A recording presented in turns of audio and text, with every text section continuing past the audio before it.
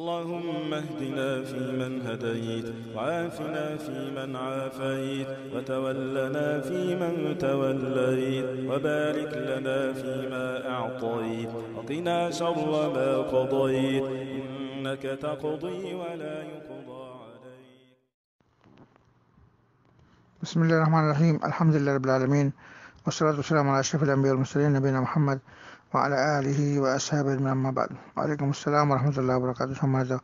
মোহাম্মদ সজীব ভাই, সিলেট থেকে আপনি প্রশ্ন করছেন মৃত্যু ব্যক্তির ছবি ফেসবুকে যাওয়া, এই কারণে কি মৃত্যু ব্যক্তির আজাব হবে? অথবা যেটা তারা বাবা দিবসে মৃত্যু, বাবার ছবি দিয়ে সেলিব্রেট করা করা এটা।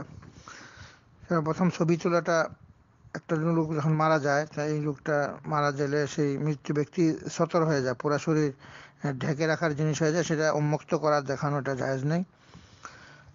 এবং ছবি যে তুলবে, সেটা তো আরও অনেক মহাপাপ।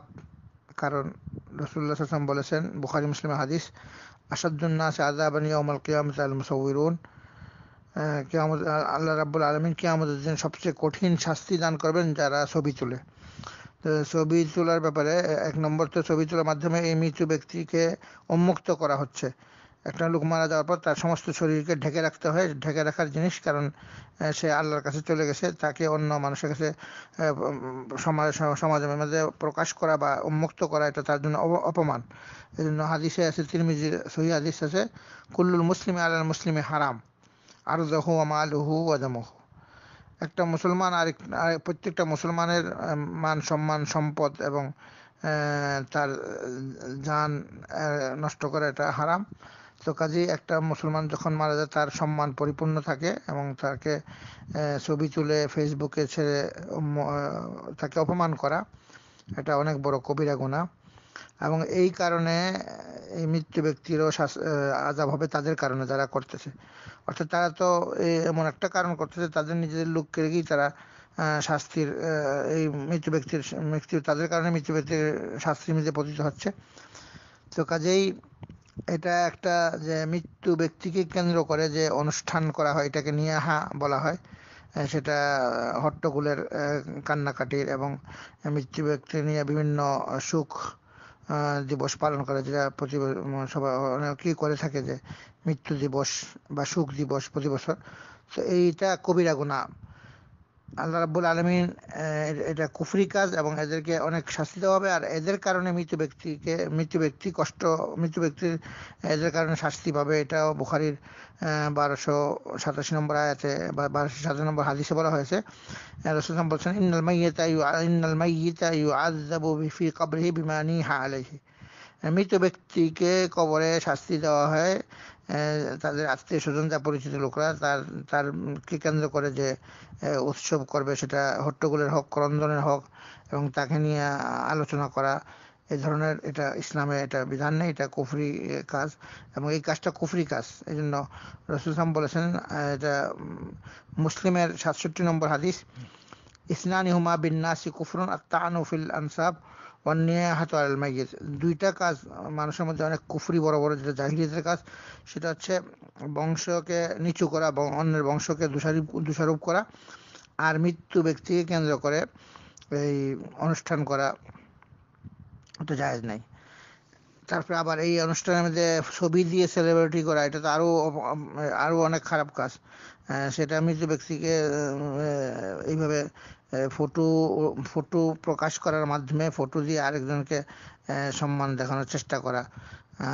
এই ধরনের কাজ, এটা না, এটা অসম্মানের কাজ বরং তাকে উন্মুক্ত করা হচ্ছে, অসম্মান করা হচ্ছে। তো এই ব্যাপারে রসুল্লাহ সাল্লাহ আসলাম আরও বলেছেন যে, যারা নাকি এরকম ছবি তুলবে কে আমাদের আল্লাহ রাব্বুল আলমিন তাদেরকে বলবেন যে, এদের ছবি তুলছো, এদের রুহ দাও। যতক্ষণ পর্যন্ত এই ছবিগুলো আলাদা কারণ একটা লোককে তৈরি করা আছে আর তার মতো আরেকটা লোককে ফটো উঠানো এবং এই লোকটা বিনা কারণে ফটো ওঠানো হচ্ছে। ওই ওই ফটো যে তোলা হয়েছে, ওই ওই ছবিটা বলবে আমাকে জান দাও কে আমাদের। এবং যতক্ষণ পর্যন্ত দান না দিতে পারবে দান তো দিতে পারবে না তাকে ওইভাবে অনেক লং টাইম পর্যন্ত তাকে শাস্তি দেওয়া হবে।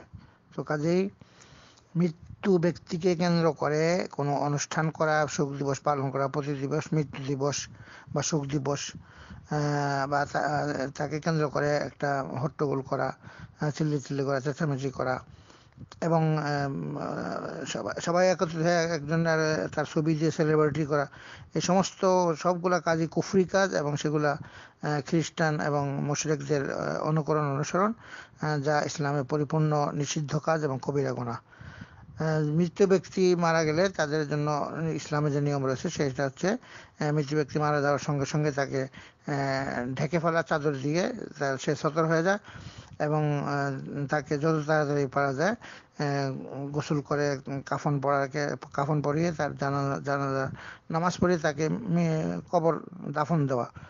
দাফন দেওয়ার মাধ্যমে এই আমানতটা, আমানতের কাজটা শেষ হবে। এটা ফরজে ফরজে কিফায়া সমাজের মধ্যে আল্লাহ রাবুল আল্লাহ রাবুল আলমিন। মুসলিম সমাজে এটা ফরজে আইন করা হয়, ফরজে আইন, ফরজে কিফায়া করা হয়েছে, অর্থাৎ সমাজের পক্ষ থেকে যদি কিছু লোক এই মৃত্যু ব্যক্তিকে দাফন কাফন জানাজার কাজটা সেরে ফেলে, সবাই এই ফরজ দায়িত্ব থেকে মুক্ত হয়ে যাবে। আর যদি কেউ না করে, সবাইকে আল্লাহ রাবুল আলমীর কঠিন শাস্তি দেবেন। কারণটা ফরজে কিফায়া। তো আল্লাহ রাবুল আলমীর কাছে আমরা দোয়া করি, আল্লাহ রাবুল আলমিন সমস্ত মুসলমানদেরকে ইমান উপরে মৃত্যু দান করুক এবং মৃত্যুর পর যেন আত্মীয় স্বজনরা এই ধরনের সেলিব্রিটি না করে, কুফরি কাজ না করে এবং তাদের জন্য মৃত ব্যক্তিদের জন্য দোয়া করে। দোয়াটা একটা লোক যখন মারা যায়, তার সমস্ত আমল নামা বন্ধ হয়ে যায়। এবং মৃত্যু ব্যক্তিকে নিয়ে কথা বলা তাদের ব্যাপারে কথাবার্তা বলা এটাও জায়েজ নাই। কারণ তারা তাদের আমল নিয়ে তারা দুনিয়া থেকে বিদায় নিয়েছে। তাদের ব্যাপারে কোনো ধরনের কথাবার্তা বলা এটা ঠিক না। যেটা নিয়ে হচ্ছে তাদের জন্য দোয়া করা, তাদের মাগফিরাতের জন্য দোয়া করা। তো এই এই, এইটা আল্লাহ রাব্বুল পবিত্র কোরআনে বলে দিয়েছেন, হাদিসেও বলে দেওয়া হয়েছে যে তোমরা দোয়া করো মৃত্যু ব্যক্তির জন্য। এই দোয়াটা তার কাজে লাগবে। সেটা তার সন্তান হোক আত্মীয় স্বজন হোক, মুসলমান হোক, সবার জন্য দোয়া করাটা এটা নিয়ম। এইভাবেই এই মৃত্যু ব্যক্তি উপকৃত হবে, যারা জীবিত রয়েছে তাদের মাধ্যমে। কিন্তু জীবিতরা মৃত্যু ব্যক্তিতে সে এমনি বিপদে চলে গেছে, বিপদের মধ্যে আছে, তার মধ্যে আরও তার শাস্তিটা বাড়ায় দেওয়ার কারণ হওয়াটা এটা ঠিক না। আল্লাহ রাবুল আলমীর সবাইকে, মুসলমানদেরকে জিনিসটা বোঝার তহবিধান করুক এবং দিনের যে বিধানগুলো মেনে চলে প্রত্যেক প্রত্যেকের জন্য কল্যাণকর কাজ করার তৌফিক দান করুক। ওসল্লাহ নবী মোহাম্মদ আলহি ওয়াসাব